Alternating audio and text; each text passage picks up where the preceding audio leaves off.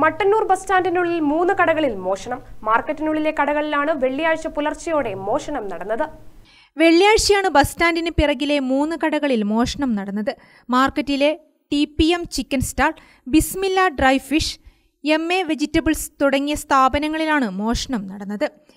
T P M chicken സ്റ്റാളിന്റെ പിറകുവശത്തെ ഭിത്തിയിലുണ്ടായിരുന്ന നെറ്റിന്റെ ഒരു വശം ഇളക്കി മാറ്റിയാണ് കടയ്ക്കുള്ളിൽ കയറിയത്. ഇവിടെ ഉണ്ടായിരുന്ന ഭണ്ഡാരത്തിലെയും മേശയിലെയും പണം കവർന്നു. ഈ കടയോട് ചേർന്ന ബിസ്മില്ല ഡ്രൈ ഫിഷ് കടയുടെ മേൽക്കൂരയുടെ ആസ്പെറ്റോ സ്ട്രീറ്റ് പൊളിച്ചാണ് ഉള്ളിൽ കയറിയത്.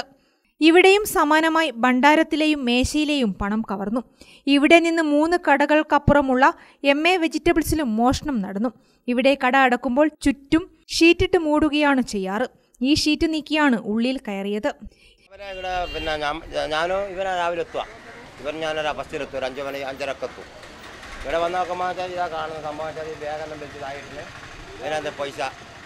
ചില്ലറ പൈസയിലത് കാണാനില്ല. അത് ഇവൻ വന്നാലാ പൈസ തന്നെ കാണുന്നത് നമ്മളതൊന്നും നോക്കിയിട്ടില്ല. നമ്മൾ രാവിലെ വന്ന സാധനം സെറ്റാക്കുക അപ്പോൾ മൊത്തം. അതിന്റെ ഇവൻ വന്നാലും മഞ്ഞയുടെ മോനോട്ടെ ഇതെല്ലാം വലിച്ചിട്ടിരുന്നത് നോക്കുമ്പോൾ ബാഗിലെ പൈസ കാണുന്നില്ല. ആ പൈസ അവരെ ഇന്നലെ ആയിരം റുപ്യന്റെ ചില്ലറ ഇവൻ മുറിച്ചുകൊണ്ടാച്ചിട്ടുണ്ട് പിന്നെ അഞ്ഞൂറിന്റെ നൂറിന്റെ ചില്ലറ രാവിലെ ഒരു ആയിരം റുപ്യ ചില്ലറില്ലാതെ നമുക്ക് പനി നടക്കൂല.